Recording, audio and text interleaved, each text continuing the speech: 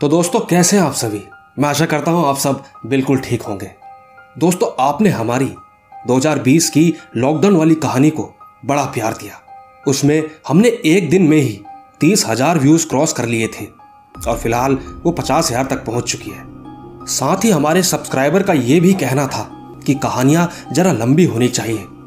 इसीलिए मैं हफ़्ते में एक बार 30 से 40 मिनट तक की स्टोरी आपके लिए लेकर आता हूँ।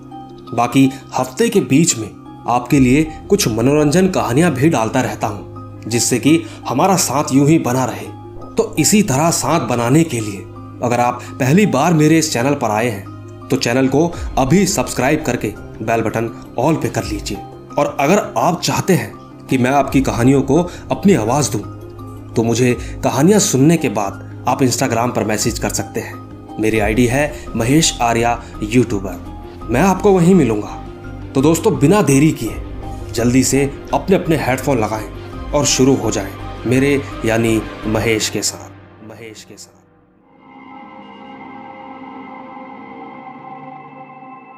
दोस्तों, मेरा नाम रोहित कुमार झा है। मैं झारखंड के जमशेदपुर का रहने वाला हूँ। वैसे मेरी उम्र 18 साल की है, लेकिन आज जो कहानी मैं आप सभी को बताने जा रहा हूँ, वो मेरे साथ ही घटी है। दोस्तों, ये बात तब की है जब मैं करीबन तेरह साल का था और अपने गाँव भागलपुर बिहार गया हुआ था, क्योंकि गर्मियों की छुट्टियाँ पड़ी हुई थी। और वहाँ पर अक्सर मैं अपने भाइयों के साथ रोज़ाना सुबह चार बजे उठ जाया करता था, क्योंकि हम लोग रात को खाना खाकर नौ बजे तक सो जाया करते थे। और आपको तो पता ही है, अक्सर गाँव में ऐसा ही होता है। इसी तरह एक दिन की बात है, मैं काफ़ी ज़्यादा थका हुआ था। पूरे दिन भर खेल कूद की वजह से मैं उस दिन बहुत जल्दी सो गया था। यही कुछ करीबन सात बजे। इसके बाद अगले दिन जब मेरी नींद खुली तो मुझे लगा कि चार बज गए हैं। लेकिन जब मैंने अपने हाथ में पहनी हुई घड़ी में समय देखा तो उसमें तीन बज रहे थे। तो जैसा कि मैंने आपको बताया था कि गर्मियों का समय था तो हम सभी लोग मिलकर छत पर ही सो रहे थे। घड़ी में समय देखने के बाद मैंने सोचा कि चलो एक घंटा और सो जाता हूँ। और मैं सोने की कोशिश करने लगा। पर काफ़ी देर तक कोशिश करने के बाद भी मुझे दोबारा नींद नहीं आ रही थी। इसीलिए मैं उठकर अपने छत पर खड़ा हो गया था और सामने का नज़ारा आराम से देखे जा रहा था। घर के सामने कई खेत थे। मैं उनको देखने लगा। मेरे घर के सामने रोड पार करते ही एक बहुत बड़ा खेत था। उसके बाद फिर एक रोड और आती थी। उस रोड के आगे चलकर आम के बगान थे। तो मैंने अपने खेतों की तरफ़ देखा। तभी मेरी नज़र दूर उस रोड पर पड़ी। रोड बिल्कुल सुन्न थी। उस वक्त रोड पर एक स्ट्रीट लाइट जली हुई थी, जिसकी वजह से रोड साफ़ दिखाई दे रही थी। तो ठीक उस रोड पर मैंने देखा कि कोई जानवर गाय जैसा दिखने वाला था। वो वहाँ पर धीरे धीरे चल रहा था। मैं उसे लगातार देखे जा रहा था। कुछ देर बाद वो गाय जैसा दिखने वाला एक कुत्ते के रूप में बदल गया था। लेकिन वो रोड बहुत दूर होने के कारण मुझे ठीक से समझ नहीं आ रहा था कि वो यकीनन कुत्ता ही है या कुछ और। लेकिन जहाँ से मैं देख रहा था, वहाँ से तो उसका कद किसी कुत्ते जितना ही था। पर एक बात थी, उसके शरीर का कोई आकार नहीं था। बहुत ही अजीब आकार का था उसका शरीर। देखते ही देखते कुछ देर बाद वो फिर से अचानक एक इंसान के रूप में बदल चुका था। ये सब नज़ारा देखकर मेरे हाथ पैर सुन्न हो गए थे। साथ ही मेरी धड़कनें काफ़ी ज़्यादा तेज हो गई थी। यकीनन मैं डर गया था और मेरी जगह अगर कोई भी होता तो वो भी डर ही जाता। मैं तुरंत अपने भाइयों को उठाकर ये सब दिखाना चाहता था, पर मेरी नज़र उससे हट ही नहीं पा रही थी। लेकिन इसके बाद जो मैंने देखा, उसे देखकर मैं बिल्कुल चौंक गया। वो इंसान जैसा दिखने वाला अपने चारों हाथ पैरों से ज़मीन पर चलने लग गया था और धीरे धीरे अपनी रफ्तार बढ़ाकर भागते हुए उस आम के बगीचे में चला गया। ये सब देखकर मैं बहुत ज़्यादा डर गया था और मेरे पास अब दिखाने के लिए किसी को कुछ भी नहीं था। एक तरफ़ दिल में यह भी था कि कहीं मेरा मज़ाक ना बन जाए। इसीलिए मैं वापस अपनी खटिया की तरफ़ आया और सोने की कोशिश करने लगा। कुछ देर बाद मुझे बड़ी अच्छी नींद आ गई। उसके बाद जब मेरी आँखें खुली तो सुबह के सात बज रहे थे। मैंने जैसे ही उठने की कोशिश की तो पता चला कि मुझे बुखार आ गया था। इसके बाद मैंने रात की घटना के बारे में अपने घर वालों को सारी बात बताई। तो मेरी दादी ने कहा कि उन आम के बागानों में एक चुड़ैल रहती है। यह सुनकर मैं बहुत ज़्यादा घबरा गया। फिर मेरा बुखार करीबन दो दिन तक रहा। उसी बीच मेरी दादी ने मंदिर में से विभूति निकालकर मेरे माथे पर लगा दी। और मन ही मन कुछ मंत्र से बुदबुदाए, जिसके कारण मैं दो दिन बाद, यकीन मानिए, बिल्कुल ठीक हो गया। अब उस रात मेरा वहम था, या क्या था, ये तो मुझे नहीं पता। अगर आपको जो भी ठीक लगे तो नीचे कमेंट में ज़रूर बताइएगा। तो दोस्तों, ये थी रोहित कुमार झा की कहानी। मेरी तरफ़ से एक कमेंट तो ये है कि मेरे हिसाब से शायद वो छलावा था। बाकी आपको जो ठीक लगे। चलते हैं अपनी दूसरी कहानी की तरफ़। दोस्तों, मैं उत्तराखंड का रहने वाला हूँ, पर मैं अपना नाम नहीं बताना चाहता। और जिस घटना के बारे में आप सुनेंगे, वो मेरे साथ ही घटी हुई है। दोस्तों, दरअसल, वैसे आपने उत्तराखंड की भूत प्रेतों की कहानियाँ बिल्कुल सुनी होंगी। उसी तरह, आज भी हम उत्तराखंड से जुड़े किस्सों को आपके सामने रखेंगे। उत्तराखंड, जिसे हम देवभूमि के नाम से भी जानते हैं, लेकिन यहाँ का माहौल दूर दूर तक फ़ेमस है। इसके बारे में मैं आपको जितना ही बताऊँ वो बेहद कम होगा। पर मेरी कहानी की ये बात आज से पंद्रह साल पहले की है, जब मैं स्कूल में पढ़ाई कर रहा था। वैसे मुझे ठीक समय तो पता नहीं है, क्योंकि बहुत ज़्यादा समय हो गया है। उस समय मैं ट्यूशन भी जाया करता था। एक दिन की बात है, मेरी ट्यूशन वाली मैम जी के बेटे का जन्मदिन था। उन्होंने मुझे और मेरे एक दोस्त को, जो कि उसी ट्यूशन में पढ़ता था, हम दोनों को उन्होंने जन्मदिन की पार्टी में बुलाया था। तो मैं शाम के समय अपने दोस्त के घर पर उसको नौता देने गया था। उसके घर जाकर मैंने उससे कहा कि भाई, आज मैम के बेटे का जन्मदिन है, उनकी पार्टी पर जाना है, तुझे भी बुला रखा है, हम दोनों साथ में चलेंगे। दोस्तों, इतना कहने के साथ साथ मुझे ठीक से याद नहीं है कि मैंने उस दिन क्या हरकतें की। पर उस दिन के बाद से जब मैं जन्मदिन की पार्टी से घर आया तो मेरे साथ कुछ अजीब होने लगा।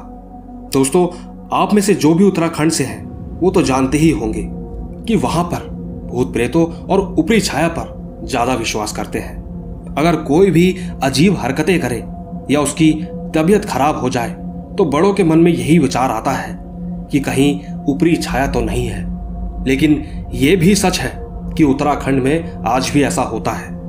तो ठीक, मेरे साथ भी कुछ ऐसा ही हुआ था। एक दिन मैं छत पर दिन के समय पतंग उड़ा रहा था। तभी मुझे अचानक से चक्कर आने लगा और मैं चक्कर खाकर ज़मीन पर गिर पड़ा। मैं बेहोश हो गया था। इसके बाद मुझे कुछ याद नहीं है कि मेरे साथ साथ क्या हुआ था। यकीन मानिए, जब मैं होश में आया, तब मेरे घर वालों ने बताया कि तू बेहोश था। उस समय तेरा मुँह टेढ़ा हो गया था और तेरे मुँह से झाग भी निकल रहा था। दोस्तों घर वालों की ये बात सुनकर उस वक्त मुझे इन सब बातों की बिल्कुल भी जानकारी नहीं थी। फिर एक दिन जब मैं स्कूल गया था तो वहाँ भी मेरे साथ कुछ ऐसा ही हुआ। वही बेहोश होने के बाद मुँह टेढ़ा होना। यकीन मानिए, जब भी मेरे साथ ऐसा होता तो मुझे इसके बाद कुछ भी याद नहीं रहता। और ऐसा मेरे साथ कई बार होते जा रहा था। तो मेरे घर वाले काफ़ी परेशान हो गए थे। उनको मेरी बहुत ज़्यादा चिंता होने लगी थी। तब जाकर घर वालों ने हमारे वहीं पास के गाँव में एक पंडित जी को मुझे दिखवाया। वो हमें जानते भी थे। साथ ही मुझे एक बार का वो किस्सा थोड़ा थोड़ा याद है कि जब मुझे फिर से वैसा ही हुआ था तो मेरे चाचा जी ने मुझे वहाँ उस पंडित जी के पास ले गए थे। उन्होंने मुझे देखते ही सब कुछ बता दिया था कि उस दिन ये शाम को कहीं बाहर गया था और इसने वहाँ पर किसी जगह वॉशरूम किया था। उसी वक्त से इसके शरीर में दो आत्माएँ आ गई थी। दोनों ही बेहद खतरनाक थी, जो कि इस पर हावी हो चुकी है। पंडित जी की बात सुनने के बाद मेरे चाचा जी ने उस पंडित से पूछा कि अब इसका उपाय क्या होगा। तब उन पंडित जी ने चाचा जी को बताया कि तुम लोग अभी घर जाओ और घर जाकर पूजा पाठ करवाना और इनके नाम की खिचड़ी, कपड़े और मुर्गा देना। इसके बाद ही सब ठीक हो पाएगा। दोस्तों, फिर हम लोग वहाँ से घर आ गए और मेरे चाचा जी ने पंडित जी की सारी बात मेरे घर वालों को बताई। इसके बाद मेरे घर वालों ने वैसा ही किया। सच कहूँ तो तब जाकर सब कुछ पहले जैसा हो गया था। मैं बिल्कुल ठीक हो गया था। मैं उस समय छोटा ही था तो मुझे इन सबसे कोई फ़र्क नहीं पड़ा। लेकिन मेरे परिवार के लिए वो समय काफ़ी नाजुक था, क्योंकि आप सभी तो जानते ही हो, परिवार में अगर कोई भी बच्चा परेशानी में होता है तो सारे लोग बहुत ज़्यादा दुखी हो जाते हैं। अब मुझे ये तो नहीं पता कि आपको मेरी कहानी पर यकीन आएगा कि नहीं, लेकिन मैं जानता हूँ उत्तराखंड के जितने भी लोग होंगे, वो इस पर बिल्कुल यकीन करेंगे, क्योंकि उनके कमेंट आपको जवाब दे देंगे। बस इतनी ही थी मेरी ये कहानी। तो दोस्तों, ये तो थी उत्तराखंड की कहानी। फ़िलहाल उन्होंने अपना नाम तो नहीं बताया, लेकिन जो भी उन्होंने अपना किस्सा सुनाया, उसके बारे में अगर उत्तराखंड का कोई भी जानता है तो नीचे इन भाई की इस कहानी पर कमेंट करके ज़रूर बताइएगा। बाकी चलते हैं हम अपनी तीसरी कहानी की तरफ़। दोस्तों, मेरा नाम रोहित ठाकुर है और आज जो कहानी मैं आप सभी को सुनाना चाहता हूँ, वो कहानी मुझे मेरे दादाजी ने सुनाई थी। और सच्चाई तो ये है कि ये उन्हीं के साथ घटी घटना है। दोस्तों, ये बात सन 1990 की है। उस समय हमारे गाँव से खेत काफ़ी दूर हुआ करते थे। एक दिन मेरे पिताजी और मेरे चाचा जी मेरी बड़ी बुआ के घर गए हुए थे। दिसंबर का महीना था। घर पर मेरे दादा दादी, मेरी माँ और मेरा छोटा भाई ही था। तो ठीक उस समय घर पर कोई जवान आदमी ना होने के कारण पानी लगाने के लिए मेरे दादाजी को ही जाना पड़ा। तो जगह पर पहुंचकर मेरे दादाजी ने खेत के किनारे एक जगह पर आग जला रखी थी। उस समय मेरे दादाजी को बीड़ी पीने का बड़ा शौक था। पानी लगाने के बाद जहाँ पर आग जला रखी थी, वो वहाँ पर बैठ गए थे। उन्हें बैठे बैठे बीड़ी पीने का मन हुआ था। उन्होंने अपनी जेब से बीड़ी का पूरा बंडल निकाला। लेकिन उसमें सिर्फ़ एक ही बेड़ी थी और वो उसको जलाने ही वाले थे कि तभी वहाँ अचानक एक चार फुट का आदमी उनके बगल में आकर बैठ गया। वो मेरे दादाजी से बीड़ी पिलाने को कह रहा था। फिर मेरे दादाजी ने कहा कि मेरे पास तो एक ही बीड़ी बची है। उन्होंने मन में यह भी सोचा कि एक ही बीड़ी है और ये भी मांग रहा है। तो दादाजी मन में ये सोचने लगे कि मैं ये बीड़ी घर पर जाकर ही पीऊँगा। वैसे भी थोड़ी देर बाद तो घर ही जाना है। ये सोचने के बाद भी दादाजी ने वो बीड़ी उस आदमी को दे दी। यकीन मानिए, जैसे ही वो बीड़ी उसको मिली तो वो एकदम से खड़ा हो गया और कहने लगा कि मैं कल फिर आऊँगा। उसने ये भी कहा कि मैं कल तुम्हें एक ऐसी चीज़ देकर जाऊँगा, जिससे तुम्हारी सात पीढ़ी घर बैठकर खा सकती है। लेकिन तुम ये बात किसी को मत बताना। इतना कहकर वो आदमी वहाँ से चला गया। इसके बाद दादाजी भी वहाँ से घर को लौट आए। घर आने के बाद उन्होंने उस आदमी की कही हुई बातों को मेरी दादी जी को बताया। पर दादी जी ने उनकी बातों पर विश्वास नहीं किया। तो ठीक अगले दिन फिर दादाजी पानी लगाने चले गए। लेकिन इस बार वो थोड़ा जल्दी निकल गए थे। दादाजी रोज की तरह उस आग के पास बैठे हुए थे। कुछ देर बाद वो आदमी फिर से वहाँ पर आ गया था और बीड़ी पिलाने को कहा। तो दादाजी ने उसे बीड़ी दे दी। लेकिन सोचने वाली बात तो ये थी कि वो आदमी बीड़ी पीकर वहाँ से चुपचाप जाने लगा था। और उसको यूँ चुपचाप जाता देख। दादाजी ने उसे कल की बात याद दिलाई और उससे जाते जाते ही कहा कि आपने कल कहा था कि आज मुझे कुछ दोगे। हैरानी की बात तो ये थी कि उसने पलटकर जवाब दिया कि मैंने तो यह भी कहा था कि तुम हमारे बीच की बात किसी को मत कहना। अब मैं तुम्हें वो चीज़ नहीं दे सकता हूँ। दोस्तों, इतना कहकर वो आदमी वहाँ से गायब हो गया था। दोस्तों, ये कहानी भी इतनी ही थी। लेकिन आखिर वो आदमी कौन था? और वो आदमी ऐसी क्या चीज़ देने वाला था? ये एक पहेली बनकर रह गई है, जिसका जवाब आज तक नहीं मिल पाया। अगर आपको इसका जवाब मालूम है तो नीचे कमेंट में ज़रूर बताइएगा। तो दोस्तों, ये थी रोहित ठाकुर की कहानी। मैं सच कहूँ तो दिल से मुझे इस कहानी में थोड़ा इंटरेस्टिंग और थोड़ा हल्का सा ड्रावनापन सा लगा।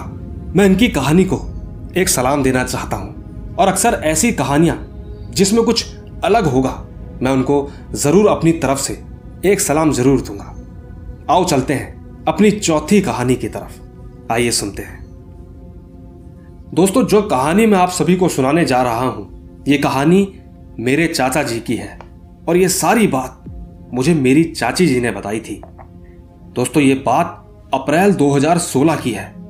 उस वक्त हमारे स्कूल की गर्मियों की छुट्टियाँ पड़ी हुई थी तो मैं कुछ दिनों के लिए अपने मामा जी के घर चला गया था। और जब मैं अपने मामा जी के घर से वापस आया तो घर आने के बाद ये बात मुझे मेरी चाची ने बताई थी कि उन दिनों गर्मी का मौसम था। सब लोग रात को घर के बाहर सोया करते थे। एक दिन मेरे चाचा जी भी बाहर सो रहे थे। आधी रात में उन्हें सोते सोते नींद में अचानक ठंड सी लगने लगी। उन्होंने नींद में ही सोचा कि शायद मौसम खराब हो गया है। उन्होंने तुरंत अपनी आँखें खोली तो देखा कि मौसम तो बिल्कुल ठीक है। ये सोचकर वो वहाँ से उठकर किचन की तरफ़ पानी पीने के लिए चले गए। पानी पीकर जब वो वापस बाहर सोने के लिए आ ही रहे थे, कि तभी अचानक से उन्हें कुछ अजीब सा महसूस हुआ, जैसे किसी का साया उनका पीछा कर रहा हो। उनको एक अजीब सी घबराहट होने लगी, लेकिन वो फिर भी आते रहे और एकदम से उन्हें किसी हवा ने उठाकर दूर फेंक दिया। वो दूर ज़मीन पर जा गिरे। उन्होंने उसी हालत में पीछे मुड़कर देखा। उन्होंने देखा कि उनके पीछे एक औरत थी। हैरानी की बात तो तब हुई, जब उन्होंने ये देखा कि वो औरत ज़मीन पर नहीं खड़ी थी, बल्कि ज़मीन से दो फुट ऊपर हवा में खड़ी हो रखी थी। ये देखकर मेरे चाचा जी बहुत ज़ोर से चिल्लाने लगे। उनकी आवाज़ से बाकी घरवाले भी जाग गए थे। वो लोग सब उसी तरफ़ गए, जहाँ चाचा जी ज़मीन पर गिरे हुए थे। लेकिन तब तक चाचा जी चिल्लाने के बाद बेहोश हो गए थे, क्योंकि वो मंजर शायद वो सह ना सके। और जब घरवाले चाचा जी के पास पहुँचे तो उन्होंने इधर उधर देखा, पर वहाँ कोई नहीं था। शायद वो औरत कहीं गायब हो गई थी। फिर घर वाले चाचा जी को वहाँ से उठाकर ले आए, और जब उन्हें होश आया तो उन्होंने सारी बात घर वालों को बताई। ये सारी बात सुनने के बाद घर वालों ने कहा कि कल से तुम अंदर अपने कमरे में ही सोना। चाचा जी ने वो मंजर साफ़ देखा था, इसीलिए वो कुछ दिन तक घर के अंदर ही सोए और उसी दौरान उनके साथ ऐसा कुछ भी नहीं हुआ था। सब कुछ मानो एकदम ठीक सा हो गया था। और जब उन्हें लगा कि अब सब कुछ ठीक है तो वो फिर बाहर ही सोने लगे थे। पर अच्छी बात तो ये थी कि उस दिन के बाद से उनके साथ सब कुछ ठीक था। लेकिन उस रात की घटना के बारे में सोचकर वो आज भी बहुत ज़्यादा डर जाते हैं। दोस्तों, आपको क्या लगता है कि उनके साथ सच में ऐसा हुआ था या फिर ये उनका वहम है? नीचे कमेंट ज़रूर कीजिएगा। बाकी चलते हैं हम अपनी पांचवी कहानी की तरफ़। दोस्तों, मेरा नाम कुणाल सिंह है। मैं यूपी जिला सुल्तानपुर का रहने वाला हूँ। और आज जो कहानी मैं आप सभी को सुनाऊँगा, वो घटना मेरे साथ मेरे मामा जी के वहाँ घटी थी। इसके बारे में सोचकर मैं आज भी बहुत ज़्यादा डर जाता हूँ। दरअसल दोस्तों, मैं अपने मामा जी के घर गया हुआ था। वहाँ मामा जी के बच्चे थे तो हम सब मिलकर खूब मौज मस्ती करते थे। ऐसे ही मुझे मामा जी के घर रहते हुए कुछ दिन बीत गए थे। एक रात हम सभी बच्चों ने मिलकर एक प्लान बनाया कि कहीं बाहर घूमने चलते हैं। तो अचानक मेरे मामा जी के बेटे ने कहा कि हाँ चलो, हम लोग उस भूतिया बाग में चलते हैं। उनके घर से थोड़ी दूर एक भूतिया बाग था और सबके सब वहाँ जाने के लिए तुरंत मान भी गए। लेकिन तभी मैंने कहा कि वहाँ नहीं जाएँगे, कहीं और चलते हैं। तभी सबने मिलकर मुझे ही कहा कि तू तो डरपोक है। मैंने कहा, नहीं भाई, मुझे कोई डर नहीं लग रहा। वैसे भी मैं क्यों डरूँगा? मैंने तो बस ऐसे ही कहा था। इसी के साथ मेरे भाई ने मुझसे कहा कि अगर कहीं घूमने जाएँगे तो वहीं जाएँगे, वरना कहीं नहीं जाएँगे। आखिरकार मैंने उनकी बात मान ली थी। मैंने कहा, ठीक है, वहीं चलते तब जाकर सबने कहा कि आज रात को नौ बजे चलेंगे। हम सबने हाथ मिलाया और इधर उधर हो गए। लेकिन जब रात के ठीक नौ बजे तो हम सब मिलकर उस रास्ते में जा ही रहे थे कि तभी मुझे कुछ महसूस हुआ। बहुत अजीब सा, मुझे किसी के घिसटते हुए आने की आवाज़ सुनाई दे रही थी। तो मैंने उस पर ध्यान नहीं दिया और आगे बढ़ता रहा और हम ठीक भूतिया बाग पहुँच चुके थे। वहाँ पहुँचने के बाद वहीं आसपास में दुकानें भी थी। तो मेरे भाई ने कहा कि चलो पहले कुछ खा लेते हैं, उसके बाद भूतिया बाग के अंदर जाएँगे। हम सबने वहाँ से खाने का सामान लिया और उसके बाद हम भूतिया बाग के पास रखी बेंच पर बैठकर खाने लगे। इतने में ही एक आवाज़ मुझे सुनाई थी वो आवाज़ कुछ इस तरह की थी, हेलो कुणाल, मुझे भी कुछ खाने को दे दो। मैंने तुरंत पीछे मुड़कर देखा तो वहाँ कोई भी नहीं था। फिर मैंने अपने बाकी भाइयों से पूछा कि तुम्हें अभी किसी की आवाज़ सुनाई दी? तो उन्होंने कोई जवाब नहीं दिया। उल्टा मुझसे सवाल किया कि तुम ऐसे क्यों पूछ रहे हो? तब मैंने कहा, नहीं, कुछ नहीं, बस ऐसे ही। पर मैंने सोचा, शायद ये मेरे अंदर का डर है, और कोई बात नहीं। साथ ही हमने जो कुछ भी लिया था, वो खत्म हो गया था। इसके बाद हम भूतिया बाग के अंदर जाने लगे, और जब हम जा रहे थे, कि तभी मुझे फिर से किसी की आवाज़ सुनाई दी। लेकिन इस बार वो आवाज़ ये कह रही थी कि कुणाल अंदर मत जाओ, यहाँ से वापस लौट जाओ, नहीं तो तुम तीनों लोग मारे जाओगे। ये बात सुनकर मैंने दोबारा पीछे मुड़कर देखा तो इस बार भी वहाँ कोई नहीं था। लेकिन इसके बाद मैं काफ़ी ज़्यादा डर गया था। मुझे इतना ज़्यादा डर लग रहा था कि मेरे पास बताने के लिए शब्द नहीं है। मैंने डरते हुए अपने कांपते होठों से अपने भाइयों को कहा कि यहाँ से घर चलो, यहाँ पर मैं एक पल भी नहीं रुकूँगा, मुझे इसके अंदर नहीं जाना है। उन्होंने मुझसे पूछा कि क्या हुआ तुम्हें? मैंने कहा, कुछ नहीं हुआ। बस यहाँ से घर जाना है। वो लोग मेरी हालत देखकर समझ गए थे कि मैं ठीक नहीं हूँ। उन्होंने कहा अच्छा ठीक है। हम सब लोग घर चलते हैं। अच्छा हुआ कि हम सब लोग वापस घर को आ गए थे। पर जब मैं घर आया तो उसके बाद मुझे काफ़ी तेज बुखार आ गया था। मुझे बुखार में देखकर माँ ने मुझसे पूछा कि क्या हुआ? इतना तेज बुखार कैसे आया? तो मैंने अपनी माँ को भूतिया बाग के पास जो भी हुआ था वो सारी बात बताई। ये सारी बातें सुनने के बाद वो समझ चुकी थी। तो ठीक वो मुझे अगले दिन वही पास में एक बाबा जी के पास लेकर गई। उन बाबा जी ने झाड़ फूक किया। साथ ही मेरी माँ ने बाबा से पूछा कि इसको आखिर हुआ क्या है? तब जाकर बाबा ने बताया कि वो एक छलावा था जो आपके बच्चे को उस रात मार देता। पर यह बच गया, क्योंकि आपके बच्चे के हाथ में हनुमान जी का कड़ा है। आप यकीन नहीं करेंगे पर इसी ने आपके बच्चे को बचाया है। अब बाबा जी की यह बात सुनकर हम सब घर लौट आए थे और घर आने के बाद मेरा बुखार भी कम हो गया था। धीरे धीरे मैं एकदम ठीक महसूस कर रहा था। दोस्तों, ज़्यादा कुछ तो नहीं। हमें इस कहानी से यह सीख मिलती है कि अगर बुरी आत्माएँ हैं तो उनसे हमें बचाने के लिए भगवान भी कहीं ना कहीं है। बाकी आप लोग क्या समझते हैं? नीचे कमेंट में मुझे भी बताइएगा मुझे भी बताइएगा। तो दोस्तों, ये थी कुणाल की कहानी। आपको जैसी भी लगी हो, नीचे कमेंट ज़रूर करना। बाकी अब हम चलते हैं हमारी आज की आखिरी कहानी की तरफ़। आइए सुनते हैं। दोस्तों, मेरा नाम शुभम जीत है। मैं उड़ीसा का रहने वाला हूँ। ये कहानी मेरी ही है और इसका डर आज भी मेरे अंदर कहीं ना कहीं है। दोस्तों, ये उस समय की बात है जब मैं नौ साल का था। तब मैं अपनी मासी के घर जो कि गाँव में रहती है, वहाँ रहने गया था। वहाँ मेरे चार दोस्त हैं, वो सब मुझसे बड़े हैं। मैं जब वहाँ गया था तो उनके साथ घूमने जाता था। हमारे उड़ीसा में ताड़ के फल को बहुत ज़्यादा पसंद किया जाता है, और जिस मौसम में वो फल होता है, उसी मौसम में मैं वहाँ गया हुआ था। साथ ही उन दिनों, मेरे नाना जी हर रोज सुबह के चार बजे टहलने जाते थे। तो मैंने और मेरे बाकी दोस्तों ने मिलकर एक प्लान बनाया कि नाना जी के घर से निकलने के बाद हम सब लोग साइकिल लेकर ताड़ के फल तोड़ने जाएँगे। और हमने ठीक एक दिन ऐसा ही किया। हम सब चार बजे नाना जी के जाने के बाद साइकिल पर ताड़ के फल तोड़ने चले गए थे। और जहाँ ताड़ का पेड़ था, उसके दूसरी तरफ़ नदी भी थी। साइड में रेलवे लाइन भी थी, जहाँ पर गाँव के लोग ट्रेन के नीचे आकर सुसाइड कर लेते हैं। मतलब आत्महत्या। लेकिन उस समय मुझे यह बात बिल्कुल पता नहीं थी। हम सब वहाँ पहुँच गए थे, जहाँ पर ताड़ के पेड़ थे। हम लोगों ने मिलकर अपनी साइकिल को किसी पेड़ के नीचे लगा दिया और फल तोड़ने में बिज़ी हो गए। मेरे दोस्त मुझसे बड़े थे तो वो पेड़ पर चढ़कर फल तोड़कर नीचे फेंकने लगे थे और मैं नीचे से उठा उठाकर उन्हें साइकिल की जो बास्केट होती है, उसमें डाले जा रहा था। हम लोगों को यह सब करते हुए करीबन आधा घंटा हो चुका था। उन दिनों सर्दियों का मौसम भी था, इसीलिए उस वक्त भी अंधेरा ही हो रहा था। लेकिन चांदनी की रोशनी में हमें सब कुछ अच्छे से दिखाई दे रहा था। फिर हमने सोचा कि अब हमें घर चलना चाहिए तो मेरे दोस्त पेड़ के नीचे उतरे और साइकिल पर बैठकर जाने लगे। वो सारे मिलकर मुझे डराने के लिए वो साइकिल लेकर भाग गए और मैं वहाँ ताड़ के जंगल के बीच में अकेला रह गया।